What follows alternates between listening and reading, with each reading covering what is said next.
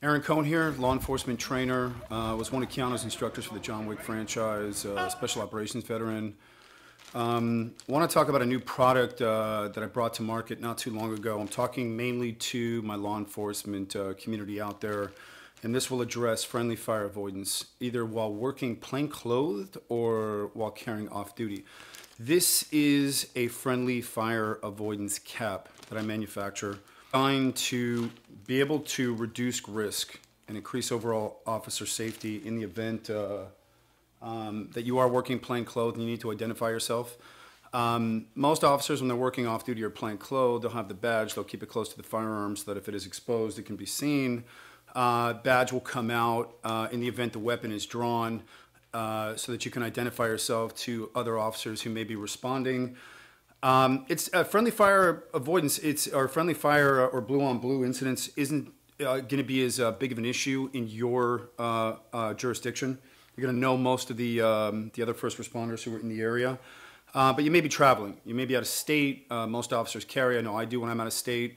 you may be transporting somebody or you just may be forced to respond, uh, given today's climate, to a, a, a, critical incident, an active shooter killer, uh, where you will need to draw your firearm uh, if you have an opportunity to be able to put down the, uh, uh, the active threat. Uh, so the question came into mind is how do we avoid getting shot or getting shot by accident by other first responders, other law enforcement responders who are coming into the scene?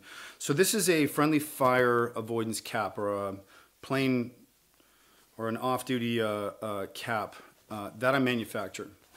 The cap only comes out in the event that your gun is drawn and that you've been forced to respond uh, with your firearm, either responding to an active threat or while plain clothed on an operation. For whatever reason, you need a higher level of identification to be able to reduce risk to yourself, uh, to your teammates, uh, and make sure that you don't get shot by accident. So this is the cap right here. It's got uh, two reflective or high visibility reflective panels on both sides.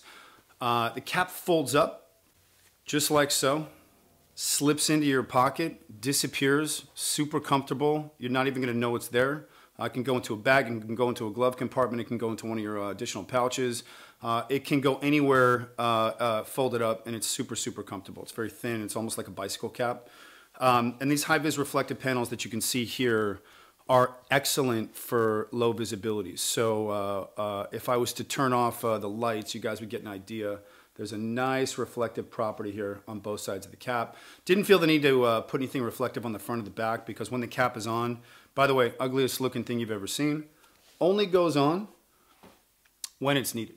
And at any point, however you're turning after the response, Obviously, the firearm needs to go away, or you may be covering the uh, suspect. You're going to get coverage. Uh, you will be seen. All right, go forwards and go backwards just to keep that little beak out of your way, just to identify yourself against the ugliest looking thing you've ever seen. However, this will reduce risk, which will ultimately reduce liability. So for the after actions, for the reports, when you're trying to articulate why I felt I was justified and I was coming out with the firearm, I was in fear of my life, the life of citizens at the mall or wherever I was, uh, knowing that you have a piece of high visibility identifier that's super comfortable and easy to carry that you can put on, and it's really, really visible to other responding officers coming at you with a massive chemical dump, tunnel vision, auditory exclusion. All they're looking for is the guy with the gun. So again, if you're especially if you're out of your jurisdiction, uh, high vis uh, or friendly fire avoidance cap only when that weapon or firearm comes out after the business is done, after you've responded and um, been able to successfully stop the active threat by subduing or neutralizing the threat. Not a bad idea. The badge won't be enough coverage. If it's dark outside, if the weapon's in your hand and you're waving this thing around, certainly not bad, but why not have both? It's an extra layer of security. Really designed or focused for plainclothed units who may be involved with high-risk warrants, uh, types of plainclothed operations where you're dealing with high-risk uh, uh, high-risk operations, uh, where there is a good chance that your weapon might be coming out uh, uh, in the process of carrying out your duties.